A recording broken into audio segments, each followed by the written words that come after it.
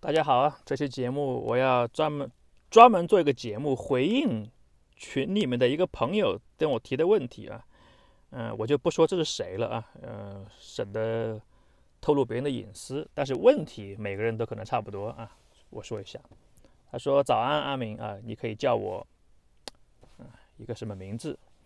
一直有关注你的动态，不仅仅因为某些观念的契合，还有就是关于你在美国装修事业的规划。我觉得对于意向从业者会有一些借鉴和启发。想请你抽空帮我分析一下我的情况，先谢过了。我在国内通过一个基督教大姐的引荐，认识了大华府地区的一个装修大哥，今年已经七十八岁，已在美国三十年做装修。”我们二零一九年年底开始正式的沟通联系，他起初和我聊，他想找个徒弟来带，自己年龄大了，不想自己的手艺没有继承。我们聊的其实蛮好，他替我规划过，想要我最，想要我最终做建商 builder 之类，包括刚一去薪水不高，时薪几十刀这些。这些话也都说在了前面。我知道作为老板画饼或者说描绘蓝图也是常事，但是具体到这个装修行业，你认为是否值得从小工做起，深耕几年，最终事业化？而且并非每个事业化的理想都可以落地实现，可能每个人的状态和想法不同。我从你的节目中感受到你对这个行业的热爱或者说坚持，但是初期来说，薪水确实一般。相较于其他辛苦但是高薪的行业，而且我一去的话，就是要带着老婆孩子，牵扯到孩子读书。孩子一旦入学，我可能很大程度上就不会乱跑城市了。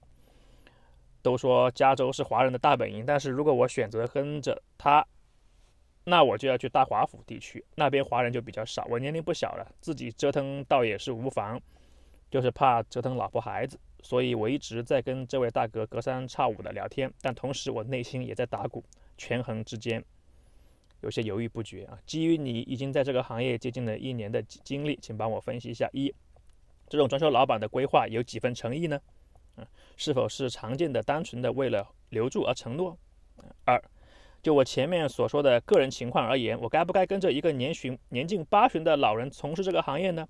三，题外话，如果庇护面谈不顺利。几个庭上下来耗费七八年甚至十年以上，这种局面你是否设想过呢？如果以上，如果以及如果连上庭后最终都没有通过，你会如何做决断呢？啊，我计划一件事的时候，喜欢把最坏的打算先列出来，测试自己是否可以接受。啊，然后回一个，我做做个节目解答。提了三个问题，我一一解答吧。第一，他说这种老板的规划有几分诚意呢？是否是常见的、单纯的为了留住而承诺呢？啊，你现在问这个问题，有点早了啊。任何人说的任何的承诺，有几分诚意呢？啊，百分之七十八啊，百分之五十六点二，百分之九十一点二，不好说啊。但是他他就像我的老板啊。也一直在跟我说，他除了跟我说，他也在跟别人说。他说的时候，这不是百分百的扯淡啊，他肯定是有几分诚意在里面。但是这个诚意能否兑现，取决于你最终和他的一个契合到了什么程度啊。就好像选接班人一样的，在选接班人的时候，历朝历代以及师傅选徒弟接班的时候，历朝历代所有的例子。你心目中都有一个意向人，但是你最终会不会把东西传给他，取决于他是不是最终符合你的意思。所以这里有个变量，对不对？很容易理解啊。就好像你有家产想传给你的大儿子、二儿子、三儿子、四儿子，你想传给其中某一个人多一点，但是你当初是这么想的，取决于最后他是否是一直符合你的预期。如果他某一天突然变了，令你失望了。你就改变想法了，是不是？但是当初你的诚意是有的，所以这个取决于两方面，是不是？啊，没有百分百，给不了这个这个，给不了这个完全的答复啊。单纯的为了留住而承诺，我觉得可能性并不大啊。他年龄大了啊，他说这个话，我觉得不会是百分百的为专门为了留人而承诺啊。我觉得这种可能性倾向于小啊。但是也不是说完全不可能。所以这里面的东西不能这样讲啊，呃，不能说百分百是，百分百不是啊，这个不理性，这个取决于很多，这个里面有很多变量，取决于你们两个是否投缘啊，还是取决于你们两个此刻是否投缘，以及未来是否一直投缘，是不是？第二啊，就好像毛泽东还选林彪当继承人，是不是？最后一刻他不就改变了吗？啊，毛泽东后来又选了这个，选了那个，不不都改变了吗？啊，他当初是认真的，后来他是他觉得又不合适啊啊。第二。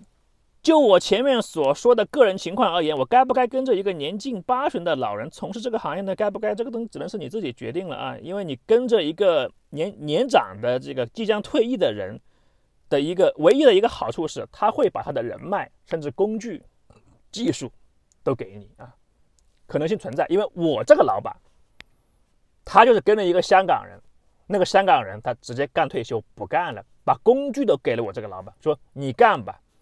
有不懂的问我，等于是把他的事业啊传给了我老板啊，也也把一些业务也给了他啊。今天我这个老板也到了快干不动的年龄，他跟我说：“那我要不以后把给你的这工具、这个这些机械加在一起都有几万块钱给你。”跟我说了，那我那你那那请问，他说这个话是认真的呢，还是开玩笑的呢？啊，有几分认真？也有几分试探，你要这么理解问题才对啊！如果我一直跟老板保持着很好的关系，一直在帮他，一直在做事情不扯淡啊，也不离开他。假设我是说假设啊，一直干到他退休为止，他又找不到比我更好的人去传，他就给我了啊。如果到时候中途蹦出一个人来比我还要好，他说不定就考虑他了。变量是很多的嘛，是不是啊？题外话啊，他说，如果庇护面谈不顺利，几个停下来，七七八八，十年、七年、八年、十年甚至以上这种局面，你是否设想过呢？这个我在节目里面说到过了啊。阿明觉得，只要我人在美国就行了啊。庇护面谈通过不通过，绿卡有没有，有没有国籍，这个就算是额外的福利。你给我是好事，你不给我，我不觉得有怎么样。所以对我而言，这种局面又怎么样呢？啊，如果连上庭。最终都没有通过，你会如何去做决断？做做什么决断？我现在已经不需要决断了啊，打到最高法院都打上去都通不过，啊，我还是在美国嘛，嗯，因为美国不会不会把一个良民遣返走的，加州不会啊，我只说加州不会，这种案例极其少见啊，所以。最坏情况不就是打个十年庭，嗯什么的，到了最后终局终审啊，然后不通过啊，你过不了。其实其实过不了，阿明还有办法，阿明还有办法。你要赖在美国还太容易了，你要赖在美国太容易了啊！你把 不想说太多啊。这个阿明之前在节目里面就说过啊，你翻我之前的节目，我都我都含沙射影的都举过几个例子了，是不是？你还不明白吗？对不对？好了，算是专门做个节目去回应了啊。我想提醒一下，很多人